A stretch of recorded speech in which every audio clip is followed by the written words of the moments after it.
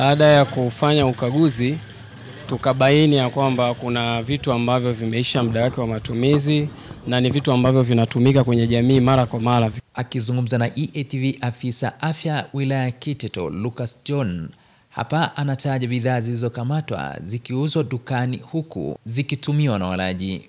Vinywaji ya baridi kwa maana ya soda za kopo, lakini pia soda za chupa, hizi energy drinks za kampuni tofauti tofauti, lakini nyanya za kopo na hata mafuta ya kupakaa kwa dada zetu tumekuta yame expire au kwa lugha rahisi wanasema yameisha muda wa, wa matumizi. Anasema elimu zaidi inahitajika kwa wananchi kuwa na utamaduni wa kuangalia muda wa matumizi ya bidhaa kabla ya kuzitumia.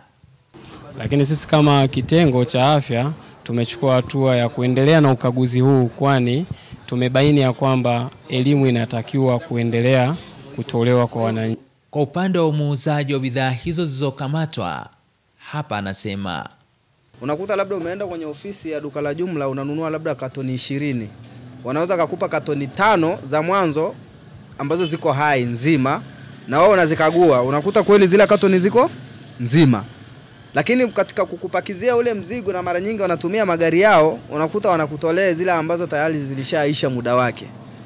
Kwa hiyo sasa kinachokuja kufanyika ni hapo atapokuja bwana afya kuja kukagua, anakuta na wewe unakuwa unajiamini kwa sababu labda umekuta bidhaa ina, ina, ina, ina umeambiwa labda ina, ina muda wake unaisha labda baada ya miezi mitatu na umeshaichukua, kumbe wamekupa bidhaa ambazo zinaisha baada ya wiki mbili.